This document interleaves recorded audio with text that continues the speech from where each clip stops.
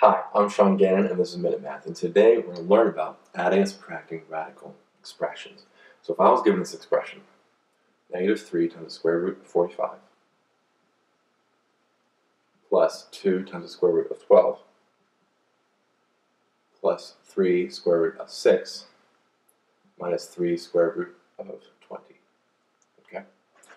Well what I'm going to do here is I'm going to try to break down each one of these square roots. So square root of 45. I know that's 9 times 5, but I choose 9 times 5 because I know I can take the square root of 9.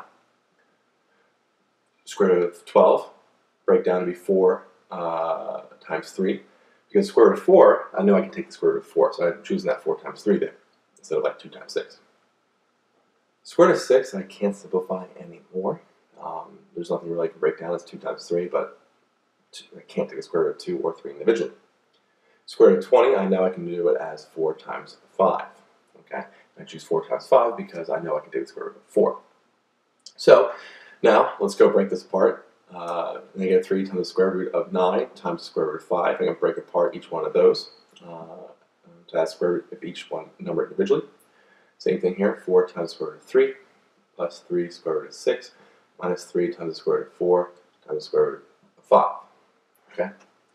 Now from here I'm simplifying, square root of 9 is just 3, so I have minus 3 times 3 plus the square root of 5 plus 2, square root of 4 is a 2, times the square root of 3 plus 3 square root of 6 minus 3 times square root of 4, which is 2, times square root of 5.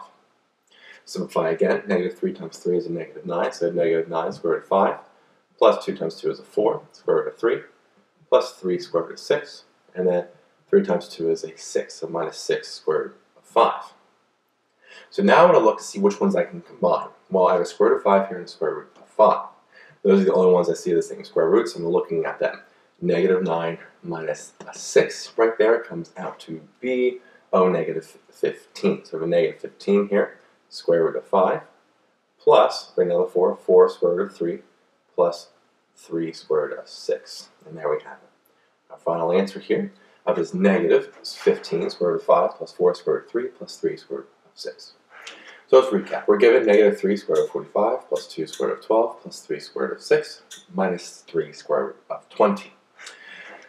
I simplify each square root individually, and as I do that, I get down, simplify, simplify, simplify, to get negative 9 square root of 5 plus, two, uh, plus 4 square root of 3 plus 3 square root of 6 minus 6 square root of 5. I look at uh, there, which the only two that same square is the square root of 5, so I combine them to get to my minus 15 square root of 5. The other ones, the, square, the 4 square root 3 and 3 square root 6, had nothing else I can combine it, so those just came down. To again get my final answer here of negative 15 square root of 5 plus 4 square root of 3 plus 3 square root of 6.